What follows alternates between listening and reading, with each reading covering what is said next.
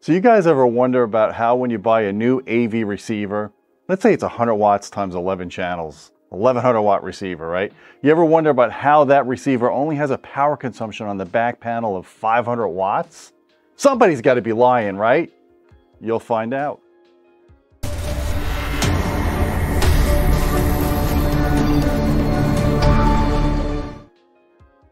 Hey folks, I'm Gene DellaSala with Audioholics.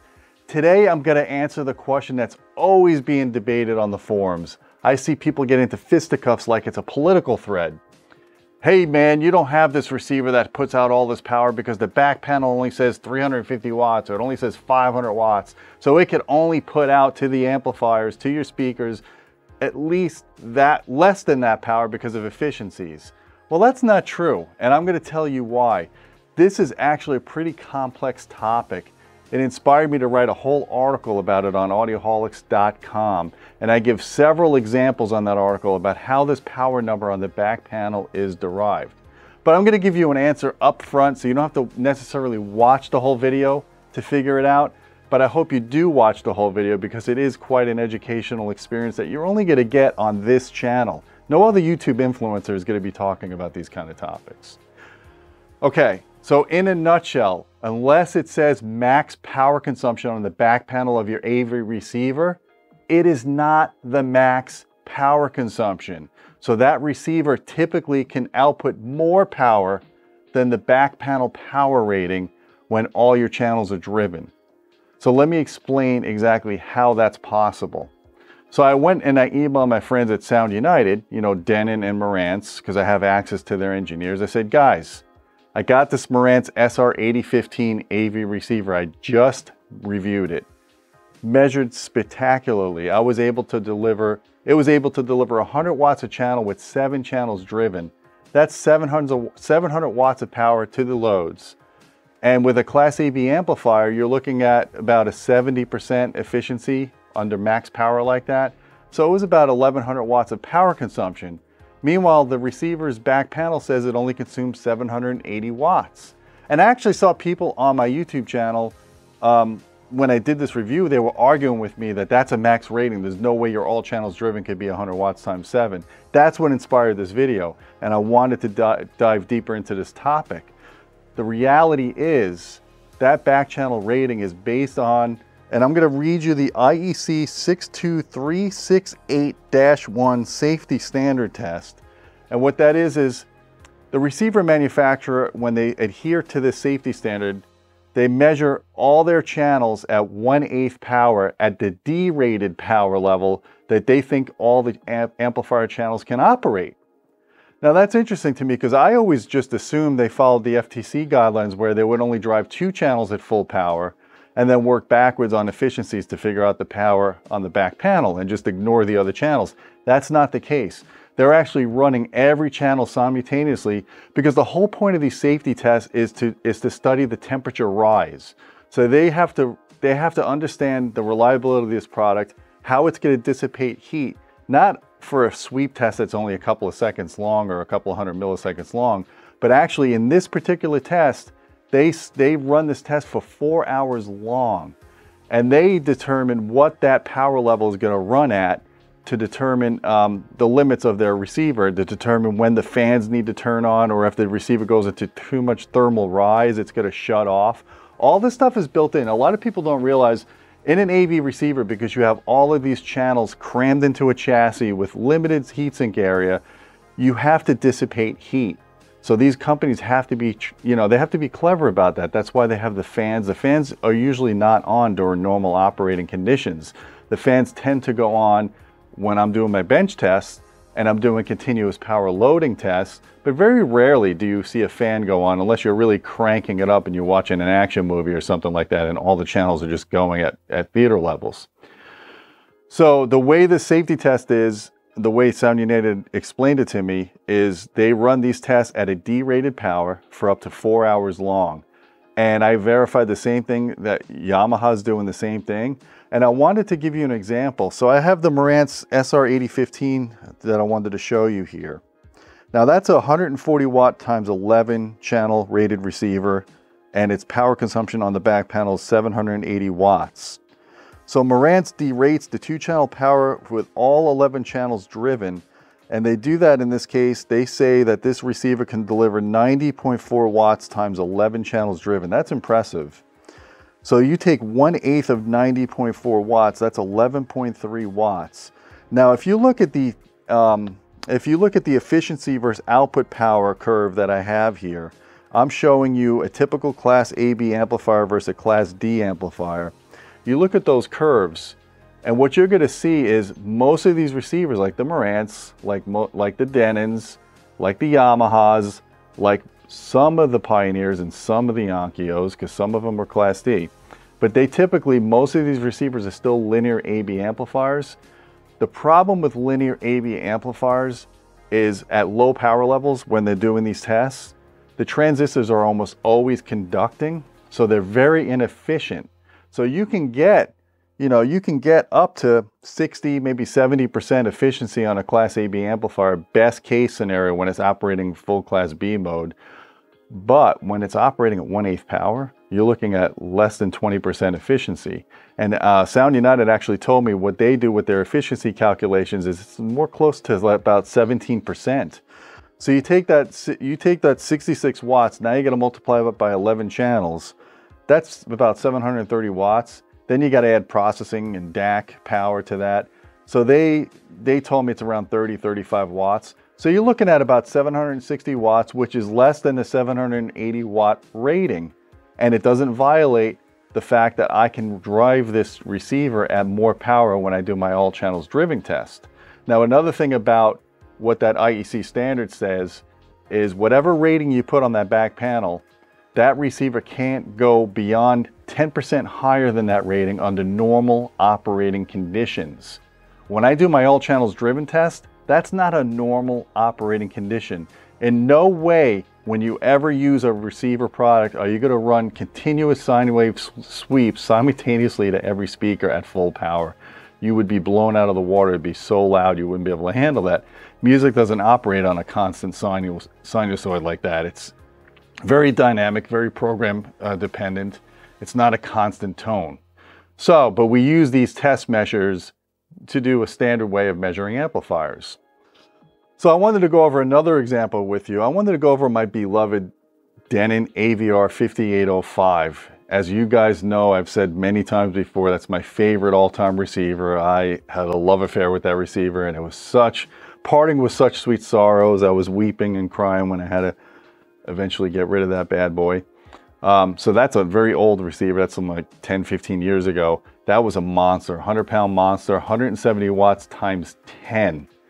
And I notice on the back of that receiver, it doesn't have power consumption. It has 13 amps. So they rated power consumption in really in VA, in amperage, okay? So I was like, well, how did you come up with 13 amps? Well, they told me they ran it through an older standard called UL 1492. So they said they took the 200 watt rating because that receiver was actually rated for 200 watts a channel at six ohms. They derated that 70% so they took 140 watts was what they were using for the derating factor. Now when they did that, um, 1 8th power of 140 watts is 17.5 watts. Again, divided by a 0.17 efficiency, that's 102.9, 103 watts a channel. You gotta multiply that by 10, okay?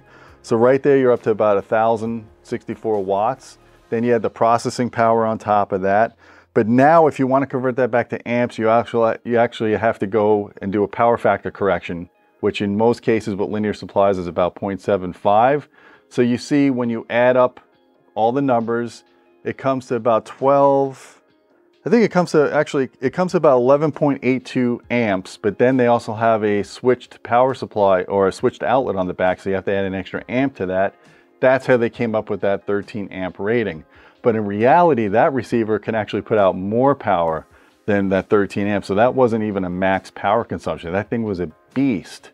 So I just wanted to give you two examples there.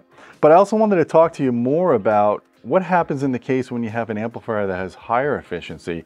And this is why we've been talking so much about Class D amplification. We're big champions now of Class D. It's going to take a while for the industry and for consumers in general to to accept the fact that you can get state-of-the-art performance now with Class D that is every bit as good as Class AB, but it's way more efficient and it counts even more. It's more important at the low power levels like I showed you because at the low power levels with linear AB amps, they're just dissipating a, shit ton of power because those resist those uh, transistors are always conducting. Imagine now going from 20% efficiency of a class AB at low power levels to over 80% efficiency of class D. That receiver is going to dissipate a lot less heat or more of that power is going to go to the load. It's just a better transfer method, especially when you're dealing with high channel densities and you're dealing with receivers that have 11 amplifiers, 13 amplifiers. There's some receivers now that have 16 channels of amplification. So I looked at the NAD, for example, the T778, and that receiver was rated, I think it was like 120 watts of channel times two or 85 times nine. And the back panel on that says 1000 watts. Well, I was like, huh, that's interesting because, you know, if you derate that, it should not come anywhere near a 1000 watts. What NAD was actually doing in that case was they were actually rating the back panel power as if that amplifier was being driven at full power because the efficiency when, when a Class D amplifier is driven at full power, 90%, you know, that was about a 90%. That's a Hypex module, it's in the 90s. So you're actually, in that case, you're getting that 1000 watts on the back panel is really what that thing is capable of doing when it's being driven all channels. But they could not, they did not confirm with me whether or not that was done per the IEC protocol of running that receiver at four hours long. So I wasn't able to confirm that, but I did notice there's two giant fans on that receiver, so it's possible. But the bottom line is, if it doesn't say max power consumption, don't assume max power consumption. You can't always take the back panel power and work backwards to say this is how much power I'm going to have available to my speaker load. There's just too many variables at play here. And I really encourage you guys to read my article because I put a lot of research into this. I give more examples. I talk about dedicated two channel power amplifiers and I talk about just how I think we should be moving forward in the industry and how I think we should be deriving or coming forward to more efficient solutions like the Class D amplifiers. And um, I just wanted to clear the air because I know there's a lot of contention about how receiver power how companies are lying about the power that they're giving you or the back panel is the absolute definitive of how much power you're getting when that's not always the case. I just gave you two examples. There's more examples in the article. I hope you guys found this interesting. Why don't you tell me about what receiver you're running and maybe what you thought. Maybe you thought you were getting shortchanged and maybe you're not getting as shortchanged as you thought because now that power consumption on the back panel isn't your absolute maximum. So hopefully that gives you guys a little bit relief. Don't forget about our Patreon channel, subscribe to it. Join our Patreon. There's lots of advantages to joining our Patreon. You get to access to us so we can answer your questions. You get to um, suggest video topics to us. We also put unique content there. I put, you know, access to articles like this way in advance before it goes online. And it also helps out the channel to support us and my lovely wife behind the camera at 2 a.m., you know, so, so I can give her perks as well to stay up. Thank you. All right, guys, I hope uh, this video was useful to you. Please give us some feedback. Thumb it up, subscribe, hit the like button. And until next time, my friends, keep listening.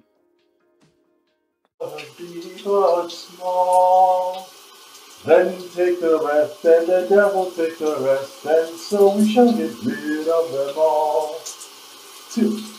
Oh, what are you still doing here? The video's over. Go home. Bye.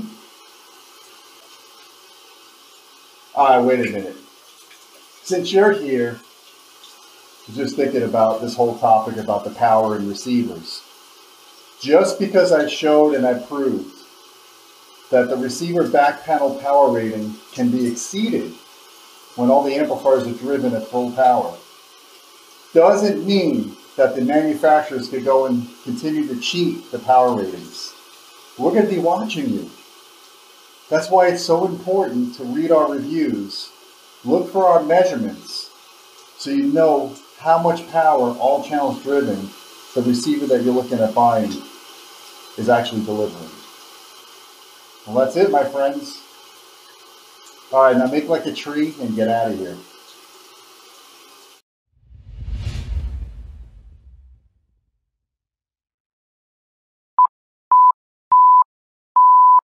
Let me know when you're ready. Okay, hit, hit record. I'll just go. Is it going? You sure? Okay. Who's lying? Is the receiver company lying? Nah, I don't like that. Stop it. You could use part of that as B-roll. Okay. Okay. You guys ever wonder about how when you buy a new channel, Great for B rolls. Hmm. okay, ready?